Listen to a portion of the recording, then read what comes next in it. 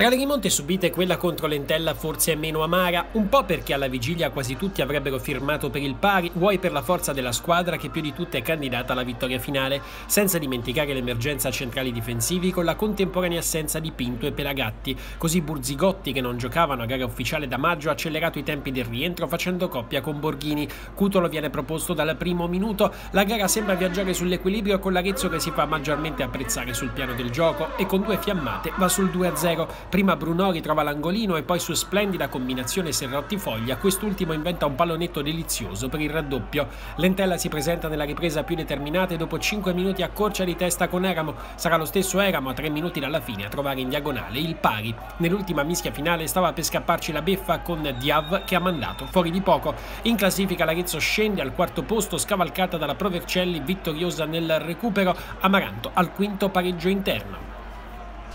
Ma in generale abbiamo fatto una buona partita, eh, pur vero che secondo me Lentella alla lunga ha preso piede, quindi ci sta che la partita si sia riequilibrata nella seconda frazione. In vantaggio di due gol eh, potevamo gestirla un po' più da furbi, più nei minuti finali. È chiaro che il gol preso dopo 5 minuti del secondo tempo complica un po' le robe perché comunque è una forza d'urto grossa loro e ci può stare che dopo il gol lo trovino.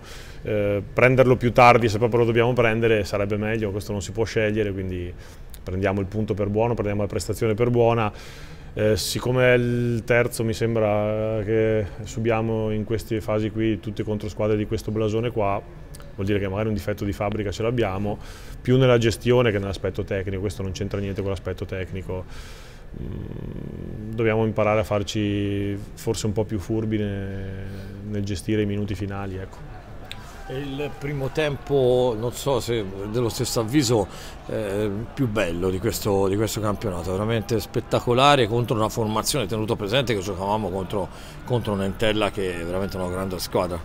Sì, mm, il metro di misura te lo dà sempre il valore dell'avversario, quindi è normale che farlo contro di loro eh, aumenta i meriti dei miei giocatori che sono sempre stati enormi dal mio punto di vista. Eh, se vogliamo tentare di fare un campionato che non è anonimo eh, dobbiamo spingere l'acceleratore su eh, altri tipi di questioni che non sono oggi quelle tecniche il nostro problema. Eh, tentiamo di lavorare un po' sui, sui, nostri di caratteri per tentare di migliorare qualcosa.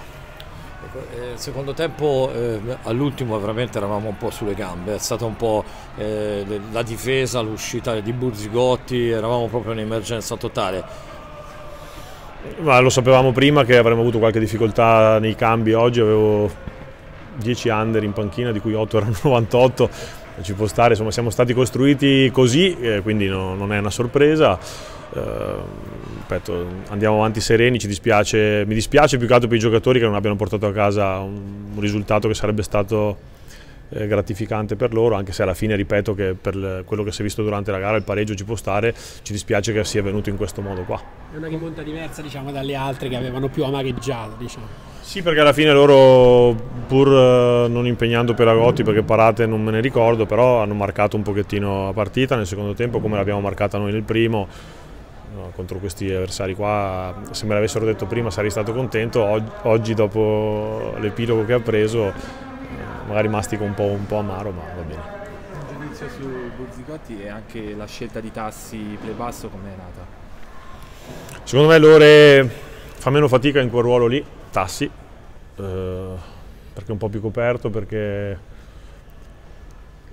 secondo me da mezzala serve un altro tipo di caratteristica per dinamicità e per contrasto, lo fa senza grossi problemi. Per Burzicotti sono contento, dopo sette mesi di inattività difficile fare una partita di questo valore qua però un ragazzo che si è sempre allenato bene, è chiaro che dopo l'uscita sua ho messo Luciani in mezzo non avendo difensori centrali, eh, non avevamo tante altre soluzioni, quindi va bene così.